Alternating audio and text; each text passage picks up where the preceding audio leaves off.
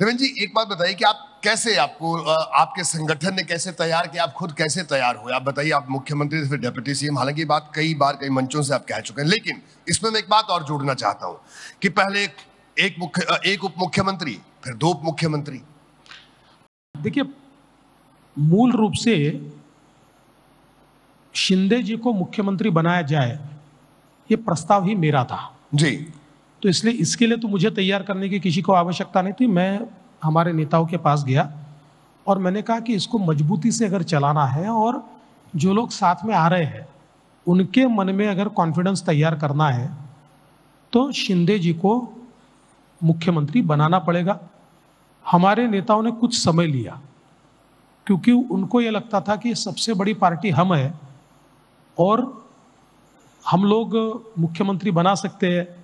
हमारे पास मुख्यमंत्री एक रहा है तो थोड़ा विचार करने के बाद फिर उन्होंने उसकी मान्यता मुझे दी और उसके बाद ये सारी चीज़ें हुई। लेकिन मैंने उस समय एक बात हमारे नेताओं को कही थी जी। कि मैं सत्ता से बाहर रहना चाहता हूँ। मैंने कहा मैं अपनी इमेज ऐसे नहीं बनाना चाहता कि देखो ये सत्ता के लिए कितना लालची है। कल तक मुख्यमंत्री था अब सत्ता के लिए उप मुख्यमंत्री बन गया।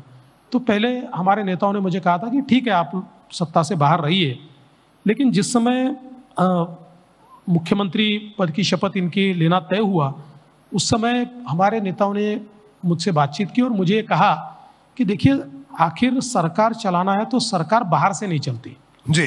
आप एक्स्ट्रा कॉन्स्टिट्यूशनल अथॉरिटी के रूप में सरकार नहीं चला सकते फिर यूपीए सरकार जैसी हमारी परिस्थिति होगी। सरकार तो अंदर से ही चलती है इसलिए आपके लिए एक नेता के रूप में दुविधा होगी। कि मुख्यमंत्री थे अब उप मुख्यमंत्री कैसे बने? लेकिन एक कार्यकर्ता के रूप में इसको स्वीकृत कीजिए क्योंकि आप अंदर रहेंगे तो ये सरकार ठीक से चलेगी।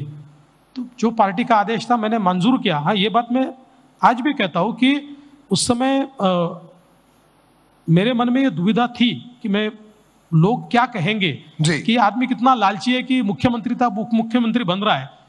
लेकिन शपथ लेने के बाद जिस प्रकार का रिस्पांस मुझे देश भर से मिला उससे मेरी दुविधा भी दूर हुई। जी। और आज मैं ये निश्चित रूप से कह सकता हूँ कि मैं अंदर हूँ तो सरकार चलाना आसान है।